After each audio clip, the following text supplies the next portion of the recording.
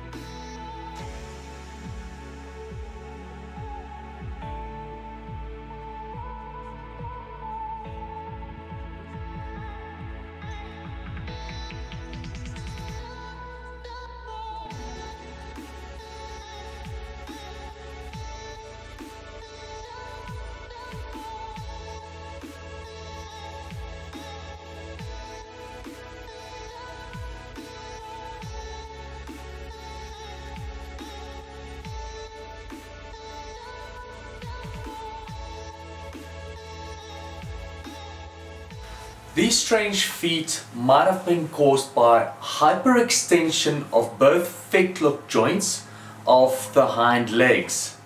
Now, I got this information from a really good friend of mine, Jackie Terblanche.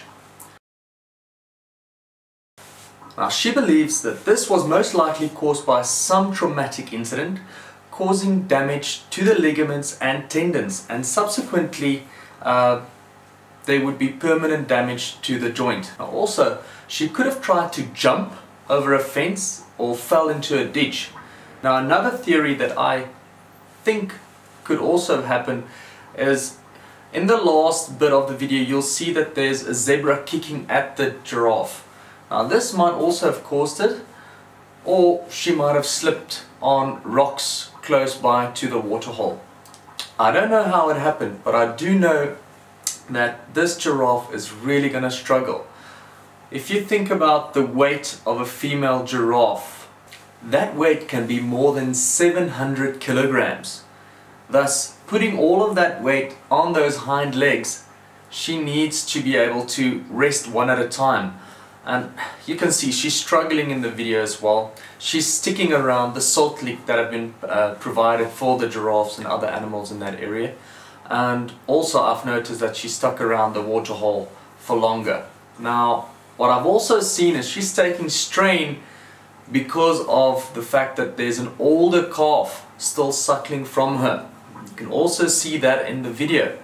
Now she will need to be able to provide more nourishment for this calf and thus predators can easily focus on her. So not too sure if she will survive this Jackie also believes that she will struggle for a long time with this. The abnormal weight bearing caused by the injuries will ultimately lead to abnormalities um, in the hoof which will aggravate the situation. So unfortunately there's no good ending for this giraffe. But hopefully the veterinary scientists of that park will then take care of her. Thank you so much for watching. I hope you found the video interesting and not that disturbing. Like always, please subscribe. Click on that link there, your bottom right hand corner. See what I have in store for you. And just a special thank you from our dear friend Jackie Terblanche for taking time off from her busy schedule all the way in the UK. Thanks for your input. Bye for now.